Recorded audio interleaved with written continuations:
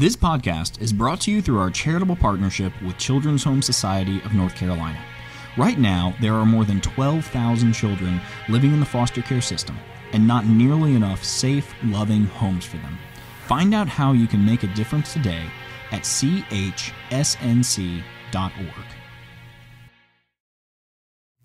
Welcome to the Semmax Way, the definitive podcast for mastering finance, investment, and retirement planning.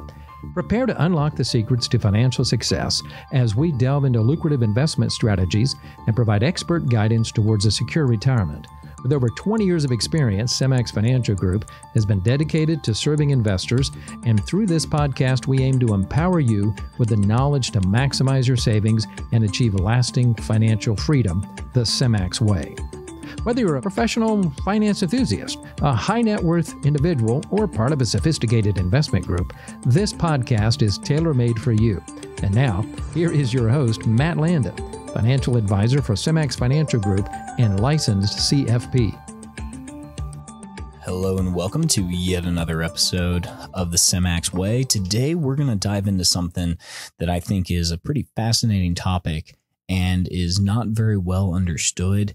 We're, we're actually going to talk about IRA accounts, but I want to go over a few of the more nuanced details of them that I think people may be a little bit confused about. So I'm going to bounce around just a little bit. I'm going to talk about IRA accounts, and then I'm actually going to talk about 401ks as well, just a hair. So let's dive right in.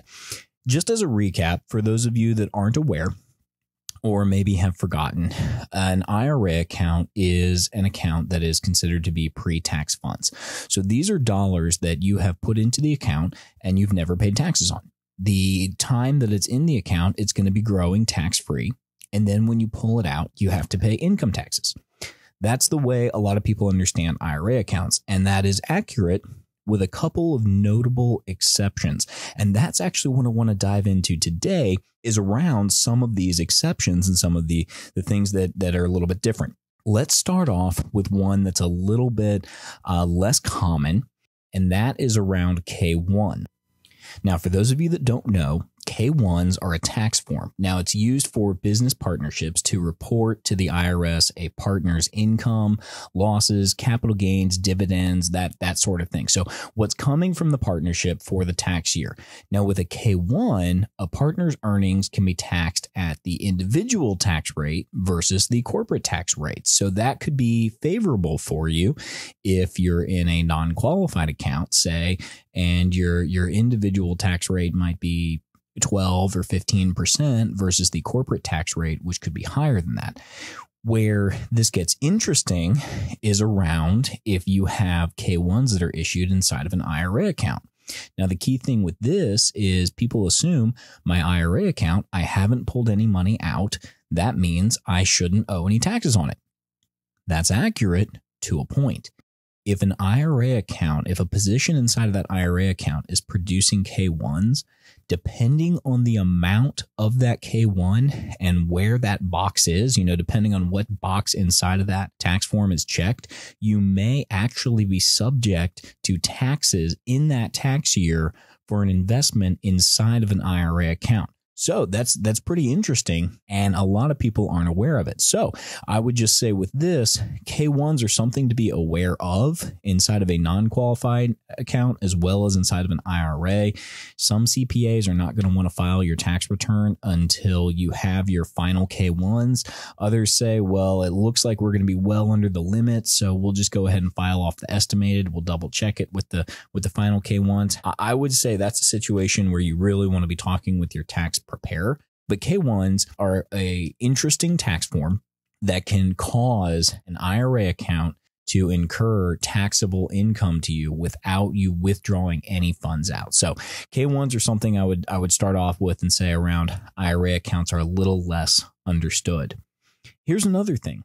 With an IRA account, when you're originally putting that money in, it's going in tax free. It's it's coming off of your income tax return. This is accurate provided your income is below the limits.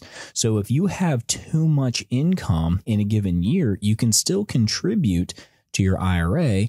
However, you do not get that tax deduction in the year you put it in. For this uh, coming up 2024, the numbers are going to be a little bit different than they were in 2023. So it's always important to look at those numbers at any given year. But for 2023, for example, if a married couple filing jointly made $218,000 or less, you got a full deduction. If you had more than $218,000 in income, but less than 228, you got a partial deduction depending on where you landed. And if you make more than 228,000, you would get no deduction. So what's interesting around that is it's not saying you can't contribute to the IRA account, but what it is saying is you did not get that deduction. So let's play this out. What this means is you now have an IRA account if you're in that situation that has a combination of pre-tax dollars and post-tax dollars in it. So this is where the pro rata rule comes into play. What's interesting about that is it is the responsibility of the account holder to keep track of those post tax dollars, or it's going to end up being reported as pre tax, and you essentially are paying taxes, you're paying income taxes on those dollars twice. So keep that in mind. If I contribute to an IRA account and I have a $6,000 contribution, and this year it's tax free, and next year I do a $6,000 contribution and it's not, well, there's $12,000 in that account half of it you have already paid income taxes on, half of it you have not. If you don't keep track of this and you pull that $12,000 out, the IRS is going to tax you on the whole thing. So, this is a case where you really want to be paying attention to this. Now, unfortunately, you cannot just go in there and scoop out specifically the pre-tax dollars. This is where what what happens is the pro rata rule. So you can look that up at the pro rata rule. Basically what the pro rata rule says is if you have a percentage of your account being pre-tax and a percentage of your account being post-tax, when you scoop money out of that account, you're scooping it out proportionately. I want you to think about this. This is the best way I can think of describing it if you're somebody that has all pre-tax dollars inside of your IRA, it's like you're sitting there with a cup of black coffee. When you take a sip of coffee, it's all coffee. It's all pre-tax dollars. Now, let's say you're the kind of person that enjoys two creamer in your coffee. You like your coffee, but you put two creamer in there. You know you put two creamers in that coffee. And when you drink the entire cup, you have drunk two creamers. However, if you were to to stir it up really good and then go, you know what? I am just going to pull a little bit of black coffee out. I'm going to leave all the creamer in there. Or I'm just going to pull out some of the creamer. I'm going to leave the coffee alone. You can't do it. It's all it's all blended together. It's all it's all mixed up. And so what you're saying is if I drank half the cup after putting two creamer in there, I can tell you I've drunk one creamer and a half a cup of black coffee. But you can't filter them out. Does this make sense? So the key thing when you're thinking of a pro rata rule, you want to be paying attention to do I have pre-tax and post-tax dollars and and you each year you have to make sure you're allocating those funds appropriately. So, um, the pro rata rule, well underrepresented, doesn't come up a huge amount, but it is pretty interesting, and I really like it. I'd like to pause a minute and just express our gratitude to our podcast sponsors, Nobles Food and Pursuits. This renowned restaurant group has been serving the community for an impressive 40 years, starting with Jim Noble's original restaurant, J. Basil Noble in High Point. Over the years, their passion for hospitality has flourished, leading them to expand into a diverse collection of nine restaurants, a retail bakery, and a catering company. Today, we want to shine a spotlight on one of their beloved establishments, Roosters Noble Grill, which has been proudly open for 31 years right here in Winston-Salem. Now, Roosters is known for its commitment to offering a seasonally inspired, regionally cultivated menu featuring mouth-watering wood-fired meats, poultry, and vegetables. If you're looking for a delightful dining experience, they also host monthly wine dinners and provide live music on their inviting patio every Tuesday night. Now make sure to pay them a visit at 380 Knollwood Street, and to secure your spot, head over to theroosterskitchen.com and make a reservation. Again, that's roosterskitchen.com. Trust us, You won't want to miss the delectable dishes and warm ambiance that Roosters has to offer. Now, let's continue exploring the world of finance and uncovering some strategies to help you achieve your financial goals. So at this point, we've talked about how an IRA account could be taxable without pulling money out of it. We have also talked about how an IRA account, you could pull money out of it without paying taxes, even though it's not a Roth because you've already paid those taxes. So let's talk about how you would end up not paying taxes out of an IRA when it comes time for RMDs. For those of you who are not familiar, an RMD just stands for a required minimum distribution. There are some custodians, which are just places where your money is held, that might call it an MRD or a mandatory minimum distribution or a mandatory required distribution. Uh, there's a lot of different variations of, of how places call it, but the most generally accepted term is an RMD they have changed the rules a little bit. And by they, I mean the government. The rules have changed a little bit on when you have to take an RMD. It used to be 70 and a half the year in which you turn 70 and a half. Now it is up to 73. And depending on the year you're born, that changes a little bit more. We'll do a whole episode on RMDs and, and we can talk through how that works and the tax laws around that and how uh, it's looking at age and, and what we can do to minimize some of that tax burden. But what I want to talk about today is around a QCD. That's a qualified charitable distribution. So a QCD. QCD stand, sounds like uh, sounds like the money's going to charity, and that's exactly right. So this is a distribution that's coming out of your IRA account, but instead of it going to you, it is going directly to a charity. You cannot do this and get that benefit until you are 70 and a half so you have to wait until you're 70 and a half. But at that point in time, you have the ability to to gift funds out of your IRA account directly to a charity. Now, this could be the church, this could be a mission board, this could be an animal shelter. There's not really a restriction around that as far as that, oh, it has to specifically be this type of charity. It does need to be a legitimate charity, has to be an actual organization. I've heard some folks have said, oh, well, my kids are my charity. Yes, I can understand that. That's not where this applies. This is specifically talking about a, a, legitimate charitable organization. But what you can do is you can gift funds directly to that charity. Uh, this does count towards an RMD. Uh, it does not trigger any kind of, of tax burden for you. So it counts towards that RMD, but it keeps your taxable income lower. This is a huge benefit if you're right there on the border or kind of close when you're looking at Medicare premiums, particularly if you are doing the standard deduction. You're going to get the standard deduction whether you gift $5,000 to the church or not. So if you can take that $5,000 off of your income by gifting it out of that IRA directly to the church and then still get that full standard deduction, that's a that's a way to maximize your savings in your in your IRA account, and I think that's huge. Uh, I'm a big fan of not giving Uncle Sam any more than we have to. Now, of course, this along with everything else, you want to run it by your CPA or tax professional. Make sure you're getting the the best advice and everything's above board and you're doing what's right for you. But I do believe a QCD is something that could be utilized and would be incredibly valuable. And another thing to keep in mind here with your IRA account, and this is where again I think it's underutilized. But for those of you that are more charitably inclined, this could be huge. What I want to talk about right now is around beneficiaries. So take a step back and think about estate taxes. Right now, the estate tax, you can pass a little over $12 million out of your estate to your beneficiaries without incurring estate taxes. That's per spouse, and uh, you have an unlimited amount you can pass between spouses. So, my wife is named Kristen. If I were to pass away, my entire estate can go to Kristen.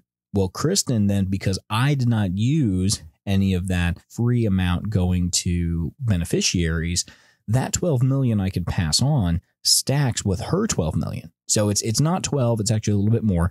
So what that means is Kristen would be able to leave a little over 24 million dollars to a beneficiary without paying estate taxes. Now, for most of us, that's not a number we need to be too concerned about. Others are. And if you're in that situation, there's some really interesting and creative things you can do. But for most of us, we're well under that $24 million mark. So we go, why, why am I worried about estate taxes? Here's why. If you leave $100,000 out of your estate to a beneficiary, they get $100,000. Now, if you leave $100,000 out of your IRA to a beneficiary, then that beneficiary has to pay income taxes on it. Because whether you pay the income taxes or your beneficiary pays the income taxes, someone is going to have to pay income taxes on those funds when they come out. And for beneficiaries, they've changed the rules again. Beneficiaries can no longer do a stretch IRA where you can stretch that inherited IRA out over 15 or 20 or 30 and 40 years.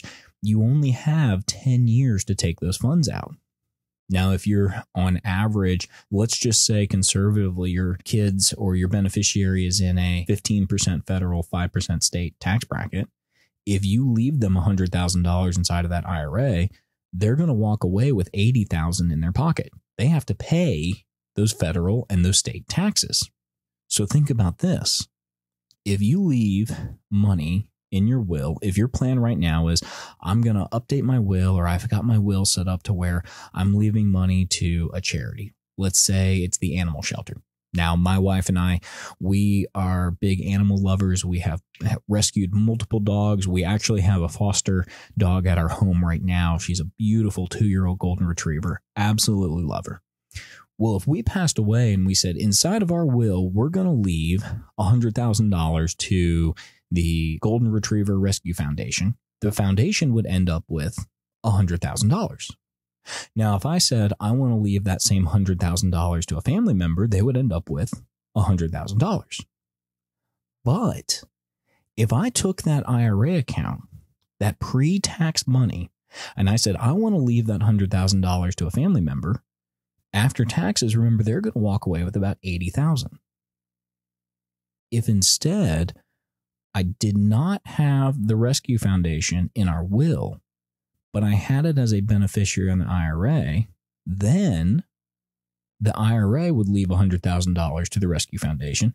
They end up with $100,000. So I think it's kind of interesting how if you are charitably inclined, I'm not saying don't leave money to charities, but leaving it in a will may not be the best way to do it. Now, of course, I'm going to give you a caveat here. I told you earlier, I'm not a tax professional. I'm also not an attorney. I'm a financial advisor. I don't want to step outside of my wheelhouse. But when we're talking about how to maximize things, you really want to make sure that you're working with a financial professional who's also working with your taxes, that you've got these things in, in alignment, and that you're also looking at your legal and you've got a whole legal team that's working together. You can think about it as a as a quarterback. There are going to be times where the quarterback's going to hold on to the ball and throw it. There are going to be times where they're going to hand it off to the running back. There's going to be times where they uh, do uh, call an audible in the middle of a play and say, "Well, we were going to do this, but we're changing it." You, you you want your financial advisor to be kind of quarterbacking things for you. So when it comes to K1s, that's the kind of thing where if you bring that up and say, "Hey, is there a way that my investments could be taxable inside of my IRA?" If your advisor goes, "No, that's not possible," go, wait a minute, what about K1s? If they give you a blank stare, that should throw up a little bit of a, a red flag for you and say, okay, what is this guy doing? Is he is he staying on top of current laws? Is he staying on top of rules? Same thing with the pro rata rule. I think it's really important that your financial advisor not be attempting to give you tax advice.